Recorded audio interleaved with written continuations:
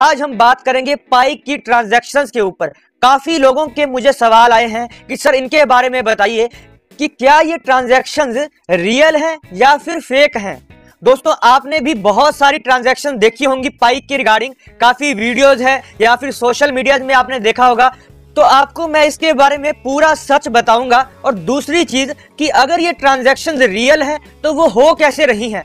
क्योंकि अभी हम पाई को ट्रांसफ़र तो कर ही नहीं सकते। और अगर ये ट्रांसफ़र हो रही है तो किस प्राइस में? क्योंकि अभी पाई का तो कोई प्राइस सेट हुआ ही नहीं है तो जो ट्रांजेक्शन हो रही हैं, वो किस वैल्यू के ऊपर हो रही हैं? तो दोस्तों, इस वीडियो में आपको इन तीनों सवालों के जवाब मिलेंगे।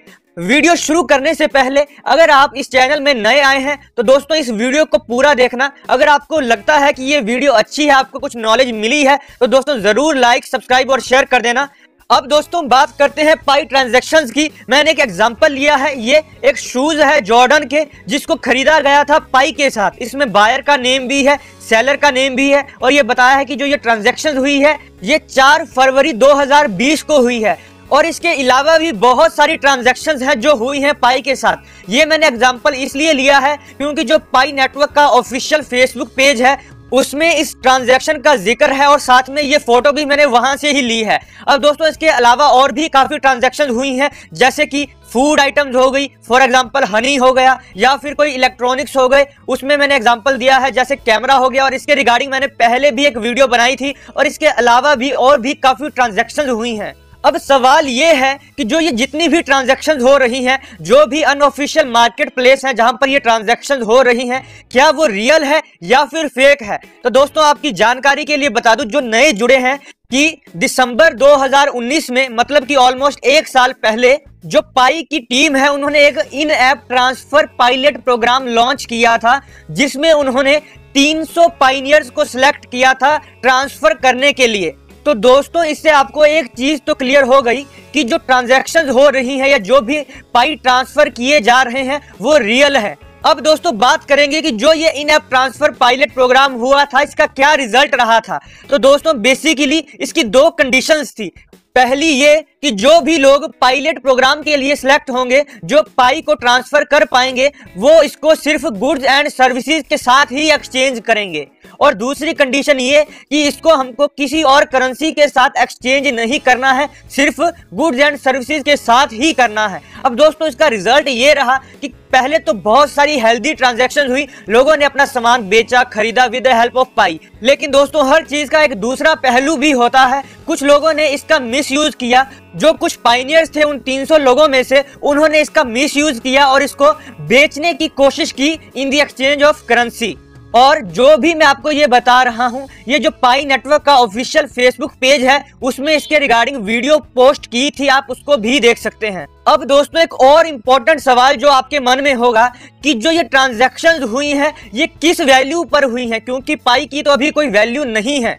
तो दोस्तों, आपकी जानकारी के लिए बता दूँ कि ये जितनी भी ट्रांजैक्शन हुई हैं, ये सब वॉलंटरी ट्रांजैक्शन है। वॉलेंटरी का मतलब है कि खुद अपनी इच्छा से लोगों ने ट्रांजैक्शन की हैं। अब जिन लोगों को लगता है कि पाई की वैल्यू इतनी जा सकती है, उन्होंने अपने हिसाब से ट्रांजेक्शन की हैं या कर रहे हैं। जिसको लगता है कि पाई की वैल्यू एक डॉलर से ऊपर जाएगी, वो जो ट्रांजेक्शन कर रहे हैं, वो एक डॉलर पर पाई के हिसाब से कर रहे हैं। कुछ लोग ऐसे हैं जो दस डॉलर तक भी पाई के साथ ट्रांजेक्शन कर रहे हैं और कुछ लोग हैं जो हंड्रेड डॉलर पर पाई के हिसाब से भी ट्रांजेक्शन कर रहे हैं। अब दोस्तों, आप खुद देख लो कि जो भी ये ट्रांजेक्शन हो रही हैं, ये कोर टीम नहीं कर रही, बल्कि जो हमारी तरह पाइनियर्स हैं, जिनको इस प्रोजेक्ट के ऊपर विश्वास है, जिनको लगता है कि पाई की एक अच्छी वैल्यू बनेगी, वो लोग ट्रांजेक्शन कर रहे हैं और अपना सामान बेच भी रहे हैं अप टू हंड्रेड डॉलर पर पाई के हिसाब से।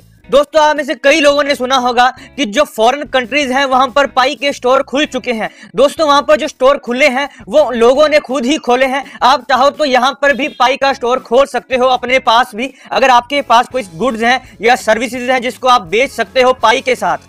फ़र्क इतना है कि जो हमारी मेंटेलिटी है, वो है कि पाई के साथ सामान खरीदना है। और जहाँ पर जो लोग इसको पाई के स्टोर्स बना रहे हैं, उनकी मेंटेलिटी है कि हमको पाई अर्न करना है अपना सामान बेचकर। और दूसरी बात, कुछ लोग ऐसा कहते हैं कि जो फॉरेन कंट्रीज़ है, वहाँ पर ट्रांजैक्शन शुरू हो चुकी हैं। ऐसा नहीं है। सिर्फ़ जो 300 लोग सिलेक्ट हुए थे, वो ही ट्रांजैक्शन कर सकते हैं। उसके अलावा अभी और कोई भी अपने पाई को ट्रांसफ़र नहीं कर सकता अभी और जैसा कि मैंने कहा है कि बहुत सारे स्टोर खुल चुके हैं। कोई ऑनलाइन स्टोर ऐसे हैं जो खुल चुके हैं, जहाँ पर हम पाई के साथ बाद में चीज़ें खरीद पाएँगे, बेच पाएँगे, जब हमारे पास भी फीचर आएगा पाई को ट्रांसफ़र करने का।